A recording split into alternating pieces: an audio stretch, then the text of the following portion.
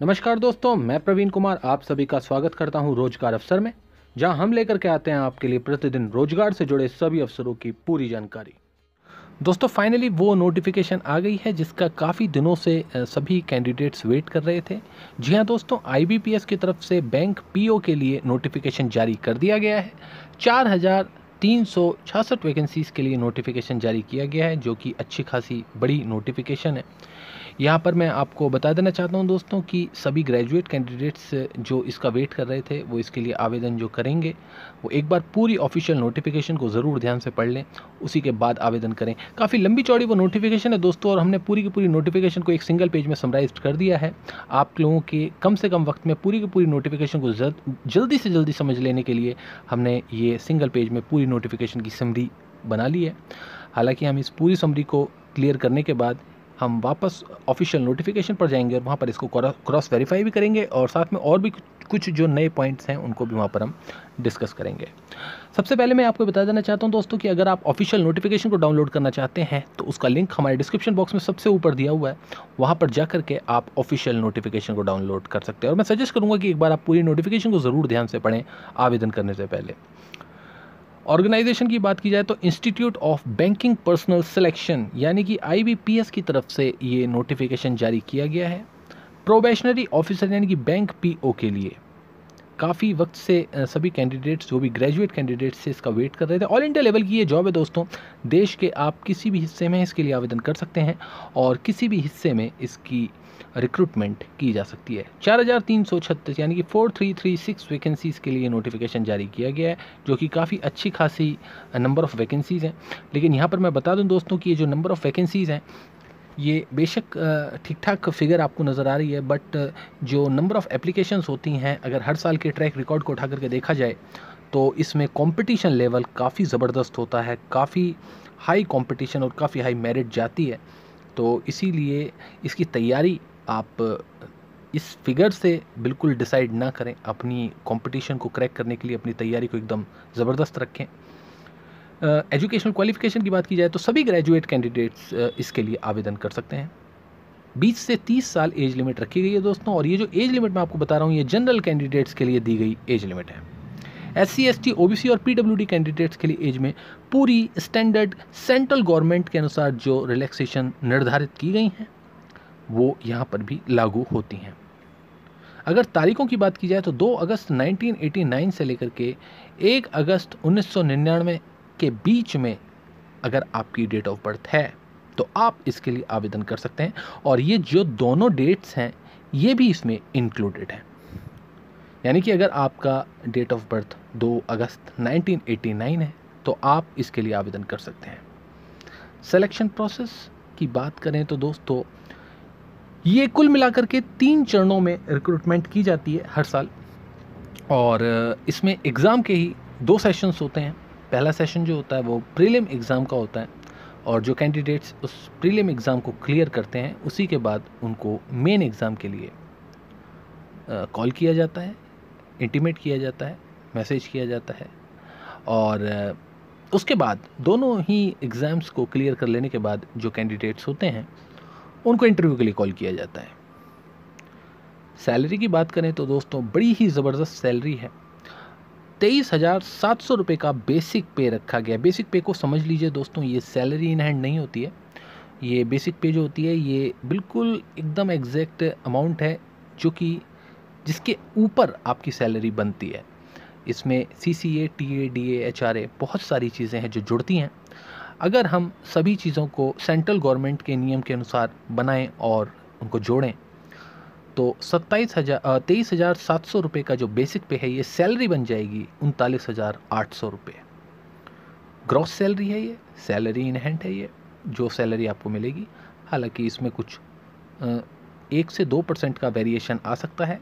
Current government की policies, जब ये रिक्रूटमेंट हो रही होगी, जब ज्वाइनिंग मिल रही होगी, उस वक्त जो होगी, उस वक्त के हिसाब से थोड़ा बहुत एक परसेंट का वेरिएशन आ सकता है। जॉब नेचर की बात करें तो दोस्तों परमानेंट ये जॉब है। सबसे अच्छी बात जो इस जॉब की है, वो यही है कि ये परमानेंट जॉब है।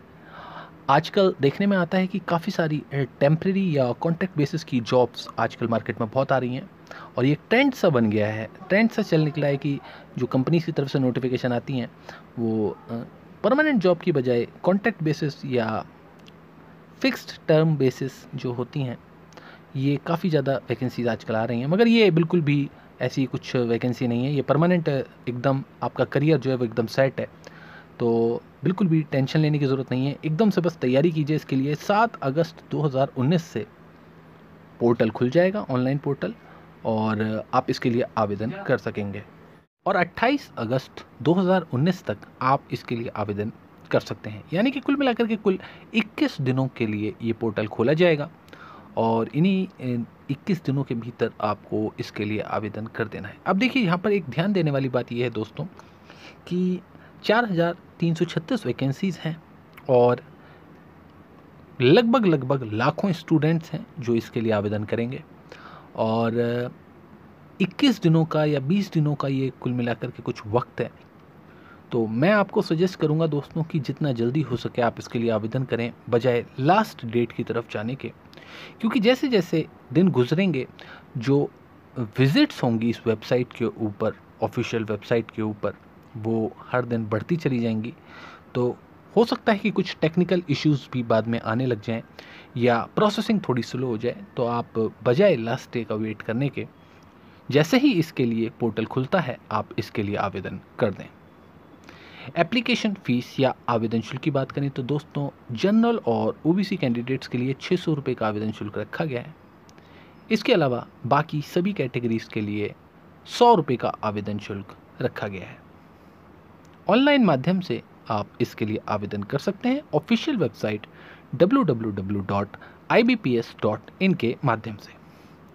तो आइए दोस्तों, ये जो ये कुछ मेन पॉइंट्स थे जो हमने आपके साथ डिस्कस किए। अब हम चलते हैं ऑफिशियल नोटिफिकेशन पर और देख लेते हैं इसके अलावा और भी कौन कौन से मेन इंपॉर्टेंट पॉइंट्स हैं जो नोटिफिकेशन के अंदर दिए गए हैं। देखिए दोस्तों, ये है वो ऑफिशियल नोटिफिकेशन जिसको ऑफिशियल वेबसाइट पर जारी किया गया है। अभी से बस कुछ एक दो दिन पहले ही ऑफिशियल वेबसाइट पर इसको जारी किया गया है। अगर हम पार्टिसिपेटिंग ऑर्गेनाइजेशंस की बात करें या जो जो बैंक्स में इसके लिए रिक्रूटमेंट हो रही है तो Allahabad bank Andhra bank bank of Baroda bank of India bank of Maharashtra बहुत सारे बैंक्स हैं दोस्तों oriental bank united bank of India बहुत सारे बैंक्स हैं जिसके अंदर ये रिक्रूटमेंट एक कंबाइंड रिक्रूटमेंट है इन सभी बैंक्स के लिए। हालाँकि एक टेंटेटिव शेड्यूल भी दिया गया है जो कि पूरा का पूरा लेखा जोखा जो है, जिस डेट के अनुसार चलना है, वो एक टेंटेटिव डेट ज़रूर दे दी गई हैं। ये फिक्स्ड डेट्स नहीं हैं टेंटेटिव हैं चेंज हो सकती हैं। टाइम आने पर। मगर आप रेगुलर विज़िट ज़रूर करते रहें ऑफिशियल वेबसाइट पर। अगर किसी भी प्रकार का कोई चेंज किया जाता है तो ऑफिशियल नोटिफिकेशन ज़रूर जारी किया जाएगा ऑफिशियल वेबसाइट के माध्यम से। यहाँ पर मैं एक बात आपको बहुत ध्यान से बता देना चाहता हूँ दोस्तों। ऑफिशियल वेबसाइट को ही सिर्फ़ आपने फॉलो करना है। इसके अलावा और किसी प्लेटफॉर्म पर दी गई किसी इन्फॉर्मेशन को, जो कि ऑफिशियल नोटिफिकेशन नहीं है, आपको नहीं मानना है, क्योंकि आजकल काफ़ी सारी फेक इन्फॉर्मेशंस बहुत सारे प्लेटफॉर्म्स पर आपको मिलेंगी और विदाउट एनी ऑफिशियल नोटिफिकेशन आप किसी भी इंफॉर्मेशन पर यकीन ना करें। तो ऑनलाइन रजिस्ट्रेशन की जो डेट है, वो सात अगस्त 2019 से 28 अगस्त 2019 ऑनलाइन अप्लाई करने की डेट है। पेमेंट करने की जो डेट है, वो है सात अगस्त से 28 अगस्त। कॉल लेटर्स जो होंगे प्री एग्ज़ाम के लिए, और प्री ट्रेनिंग के लिए सॉरी अभी मैं प्री ट्रेनिंग के बारे में भी आपको बताऊँगा इसमें आगे जा कर के नोटिफिकेशन में। वो सितंबर 2019 में कभी दिए जाएँगे। और प्री एग्ज़ाम ट्रेनिंग जो स्टार्ट होगी, वो 23 सितंबर 2019 से स्टार्ट होगी और 28 सितंबर 2019 तक चलेगी। यानी कि 23 सितंबर से 28 सितंबर तो कुल मिलाकर के जो दिन हो जाए, वो पाँच दिनों के लिए ये जो क्लासेस हैं, वो कंडक्ट की जाएँगी। नियरेस्ट आप बैंक्स में जा कर के उसकी पूरी लिस्ट दी हुई है, आप उसमें जा सकते हैं। फ्री ऑफ़ कॉस्ट है बिल्कुल। कॉल लेटर्स ऑनलाइन एग्जामिनेशन के लिए प्री एग्ज़ाम के लिए अक्टूबर 2019 में जारी किए जाएँगे। तो इसी प्रकार से सारी डेट्स का यहाँ पर इंफॉर्मेशन दी गई है दोस्तों। एलिजिबिलिटी क्राइटेरिया की बात की जाए तो सिर्फ़ अगर आप ग्रेजुएट हैं और इंडियन सिटीज़न हैं तो आप इसके लिए आवेदन कर सकते हैं। एज जो कैलकुलेट की जा रही है, वो एक अगस्त 2019 से कैलकुलेट की जा रही है। मिनिमम 20 साल मैक्सिमम 30 साल एज लिमिट रखी गई है। जैसे कि मैंने आपको बताया था 2 अगस्त 1989 से लेकर के 1 अगस्त 1999 के बीच में अगर आपकी डेट ऑफ़ बर्थ है तो आप इसके लिए आवेदन कर सकते हैं। शेड्यूल कास्ट शेड्यूल ट्राइब्स के लिए पाँच साल ओबीसी के लिए नॉन क्रीमिलियर के लिए तीन साल और जो भी पीडब्ल्यूडी कैंडिडेट्स हैं, शारीरिक रूप से दिव्यांगजन, उनके लिए 10 साल की एज में रिलैक्सेशन दी गई है। एक बड़ी इंपॉर्टेंट इन्फॉर्मेशन यहाँ पर दी गई है दोस्तों, जिसका आपको सभी को ध्यान रखना है, कि अगर आपका जो रिज़ल्ट है, वो डिक्लेयर हो जाता है, जो फाइनल ईयर के कैंडिडेट्स हैं स्पेशली मैं उनके लिए बता रहा हूँ, अगर आपका रिज़ल्ट डिक्लेयर हो जाता है 28 अगस्त 2019 से पहले पहले तो आप इसके लिए आवेदन कर सकते हैं। और इसके बाद जिनका भी रिज़ल्ट डिक्लेयर होता है, as per the official notification वो उसके लिए आवेदन नहीं कर सकते हैं। अच्छा अब बात आ जाती है जो इम्पोर्टेंट बात है जो मैं भी आपको बता रहा था।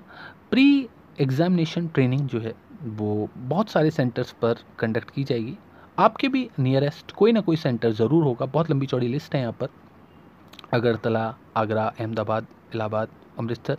इस प्रकार से बहुत सारी लिस्ट दी गई है, बहुत सारे शहर हैं उसमें। तो कोई ना कोई आपके घर के आसपास का भी शहर ज़रूर होगा। आपके शहर में भी किसी न किसी बैंक की ब्रांच में ये ट्रेनिंग ज़रूर कंडक्ट कराई जाएगी। और जो भी इसके लिए ऑप्ट करना चाहते हैं इस ट्रेनिंग को, वो अपने एप्लीकेशन फॉर्म के अंदर एक जगह पर आपसे पूछा जाएगा कि क्या आप प्री एग्ज़ामिनेशन ट्रेनिंग ऑप्ट करना चाहते हैं। बिल्कुल फ्री ऑफ़ कॉस्ट है दोस्तों। तो आप उस पर क्लिक कर सकते हैं और उस ट्रेनिंग को ले सकते हैं। हालाँकि उस ट्रेनिंग को करने से यहाँ पर मेंशन किया गया है नोटिफिकेशन में कि कोई गारंटी नहीं है कि सिलेक्शन होगी। ये सिर्फ़, और एक और इंपॉर्टेंट चीज़ मैं यहाँ पर बता रहा हूँ कि जो नोडल बैंक्स हैं इस ऑर्गेनाइजेशंस के, उन्हीं में ये ट्रेनिंग कंडक्ट की जाएगी। और शेड्यूल कास्ट, शेड्यूल ट्राइब्स और माइनॉरिटीज़ जो कम्युनिटीज़ हैं, उनके लिए ये ट्रेनिंग है। जनरल कैंडिडेट्स और ओबीसी कैंडिडेट्स इसके लिए एलिजिबल नहीं है। ये चीज़ नोटिफिकेशन के अंदर मेंशन की गई है। अब इसके बाद आ जाते हैं दोस्तों ऑनलाइन एग्जामिनेशन का जो स्ट्रक्चर है, वो भी नोटिफिकेशन के अंदर मेंशन किया गया है। जो प्रीलिम एग्ज़ाम होगा, वो कुल मिलाकर के सौ क्वेश्चंस होंगे। सभी क्वेश्चंस एक मार्क्स के होंगे। और सौ मार्क्स का इस तरीके से आपका पेपर बन जाता है। बेसिकली तीन सेक्शंस होंगे पेपर के अंदर इंग्लिश लैंग्वेज तीस क्वेश्चन तीस मार्क्स के, बीस मिनट का वक्त इसके लिए आपको दिया जाएगा। क्वांटिटिव एप्टीट्यूड पैंतीस क्वेश्चन पैंतीस मार्क्स के, बीस मिनट का वक्त दिया जाएगा। रीजनिंग एबिलिटी पैंतीस क्वेश्चन पैंतीस मार्क्स के, बीस मिनट का वक्त दिया जाएगा। यहाँ पर जो कंपटीशन बढ़ता है ना दोस्तों, ये मैं आपको बता देना चाहता हूँ कि क्वांटिटिव एप्टीट्यूड और रीजनिंग इसकी बड़ी ज़बरदस्त कंपटीशन लेवल है, इसमें बहुत ज़्यादा हाई है। और यहाँ पर काफ़ी सारे कैंडिडेट्स एक दूसरे को कॉम्पिटिट करते हैं। तो अगर आप इन सबसे आगे निकालना चाहते हैं तो ये पर्सनल मेरा यहाँ पर एक ओपिनियन है कि सभी लोगों का क्वांटिटिव और रीजनिंग बहुत अच्छा रहता है, लेकिन जो टफ चीज़ आ जाती है, वो आ जाती है इंग्लिश लैंग्वेज की। सिनोनिम्स एंटोनिम्स और बहुत सारे कुछ टेक्निकल इंग्लिश के क्वेश्चन होते हैं। तो उसकी आप अगर स्पेशल अच्छी तैयारी कर लेते हैं तो उससे आप एक एज ले सकते हैं बाकी सभी कैंडिडेट से। ये मेरा एक पर्सनल ओपिनियन है। हालाँकि आप जो कई सालों से तैयारी कर रहे हैं, उनको ज़ाहिर सी बात है, इसके बारे में पता होगा। कुछ मेन एग्ज़ाम का भी डिटेल यहाँ पर दिया गया है। रीजनिंग एंड कंप्यूटर एप्टीट्यूड के 45 क्वेश्चन होंगे और वो 60 मार्क्स के होंगे। इंग्लिश और हिंदी दोनों ही लैंग्वेजेस में वो दिया जाएगा। एक घंटे का वक्त दिया जाएगा इसके लिए आपको। जनरल इकोनॉमी बैंकिंग अवेयरनेस के 40 क्वेश्चन होंगे 40 मार्क्स के, और इसके लिए आपको 35 मिनट दिए जाएँगे। इसके अलावा इंग्लिश लैंग्वेज के 35 क्वेश्चन होंगे 40 मार्क्स के और 40 मिनट इसके लिए दिए जाएँगे। डेटा एनालिसिस के 35 क्वेश्चन होंगे 60 मार्क्स के और 45 मिनट आपको इसके लिए दिए जाएँगे। तो टोटल जो नंबर ऑफ़ क्वेश्चन हो जाते हैं वो हो जाते हैं एक सौ पचपन, दो सौ मार्क्स का पेपर बनता है और तीन घंटे का आपके पास वक्त होता है। इसके अलावा एक रिटर्न एग्ज़ाम और अलग से भी होता है इंग्लिश लैंग्वेज का, जिसमें लेटर राइटिंग और एसे राइटिंग का क्वेश्चंस आते हैं। इसमें दो क्वेश्चंस होंगे लार्ज नंबर ऑफ़ क्वेश्चंस और मैक्सिमम मार्क्स जो इसमें होते हैं वो 25 होते हैं 25 और इसके लिए आपको 30 मिनट का वक्त दिया जाएगा। अगर आपको वीडियो पसंद आई हो दोस्तों तो प्लीज़ इसको लाइक ज़रूर कीजिएगा। उससे हमें मोटिवेशन मिलता है आगे और भी अच्छा काम करने के लिए। तो दोस्तों, इस वीडियो के लिए बस इतना ही। मेरी तरफ़ से आप सभी को इस वैकेंसी के लिए बेस्ट ऑफ़ लक। दोस्तों, अगर आप भी पाना चाहते हैं सबसे जल्दी अपडेट्स किसी भी लेटेस्ट सरकारी नौकरी के लिए तो आप हमारे चैनल को सब्सक्राइब कर सकते हैं, क्योंकि हम लेकर के आते हैं लेटेस्ट सरकारी नौकरी से जुड़ी खबरें। सबसे पहले।